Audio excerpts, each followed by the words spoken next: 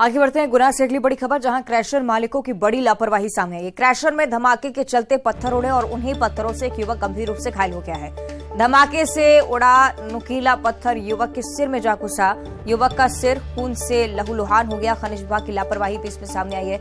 उमरी road पर स्थित petrol pump के पास ये पूरी दुर्घटना हुई है। बड़ी जानकारी तस्वीरें देखिए आप टीवी स्क्रीन पर। सहयोगी विजय, ज़्यादा जानकारी देंगे। विजय, क्या कुछ हुआ घटनास्थल पर? विस्तार से जानकारी। देखिए, ज़ाहिर सी बात है केंद्र थाना क्षेत्र का ये पूरा मामला है। ये जो मजदूर है, ये फैक्ट्री में काम कर रहे थे, उसी दौरान जो है, वहाँ पर क्रेशरें लगी हुई हैं, जहाँ पर रोज़ाना ब्लास्टिंग का कार्य सुबह से ही किया जाता है, जिसमें कई बार स्थिति ये बनती है कि राह चलते लोग भी जो है घायल हो जाते हैं।